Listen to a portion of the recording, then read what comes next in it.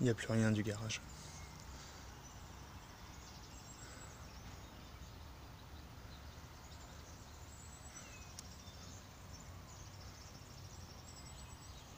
Tout a cramé.